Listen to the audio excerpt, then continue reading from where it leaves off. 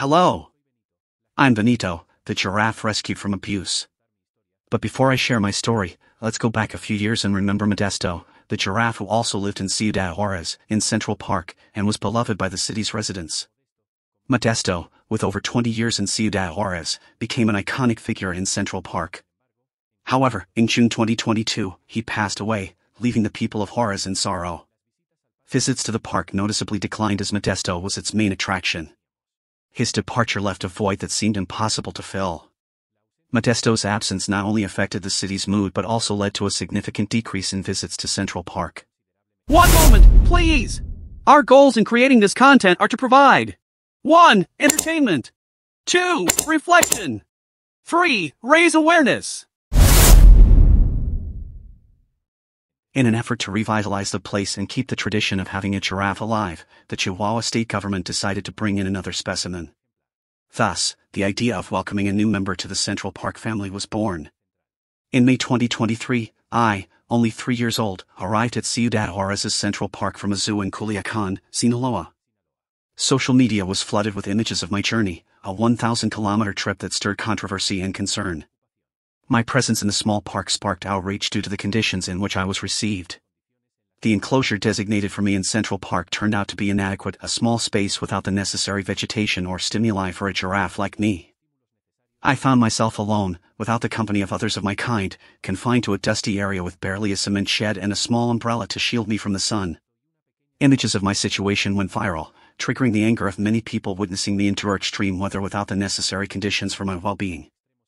I endured scorching heat and excessive cold in the last months of 2023, affecting my health and behavior.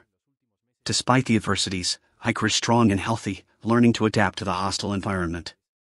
However, loneliness weighed on me, and my dreams were filled with the hope of having friends and the freedom to run across the savannah. One day, a group of animal rights activists in Juarez learned about my story. With determination, they began to denounce my mistreatment, sharing videos on social media exposing the deplorable conditions in which I lived.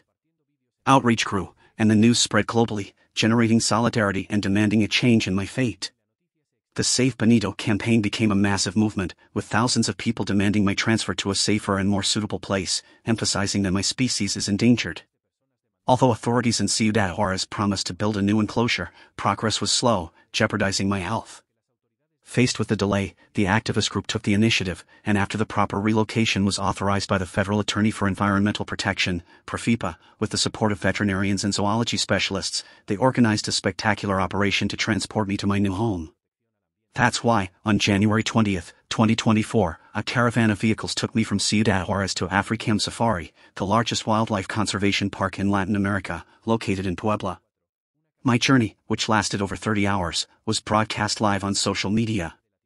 At Africam Safari, I found a new home with a spacious and well-equipped enclosure, suitable vegetation, and the company of other animals of my kind.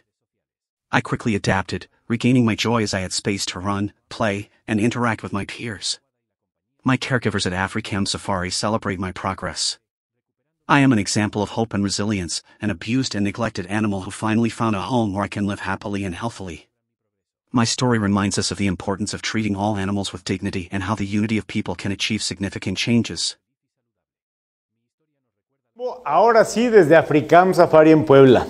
Después de una larguísima travesía llegamos a Africam, Benito ya bajó, son las 4.35 de la mañana, lo vemos en muy buen estado, está muy curioso por todos los olores, por las cosas nuevas que hay aquí, ya comió un poco, ya tomó agua, lo vemos bastante bien.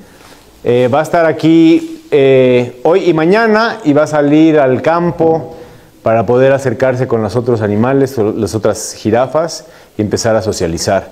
Eh, esta es una habitación especialmente diseñada para jirafas, donde podemos hacer cualquier manejo médico, cualquier manejo zootécnico.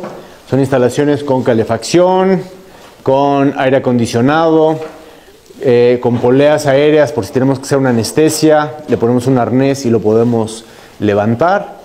Eh, tiene distintos tipos de sustrato, tiene paja, tiene arena, tiene viruta, para que él escoja cuál es el tipo de, de cama en la que quiere estar. Está muy bien, ya, empezado, ya empezó a tener contacto con los cuidadores. Don't forget to follow us on stories and events. Thank you!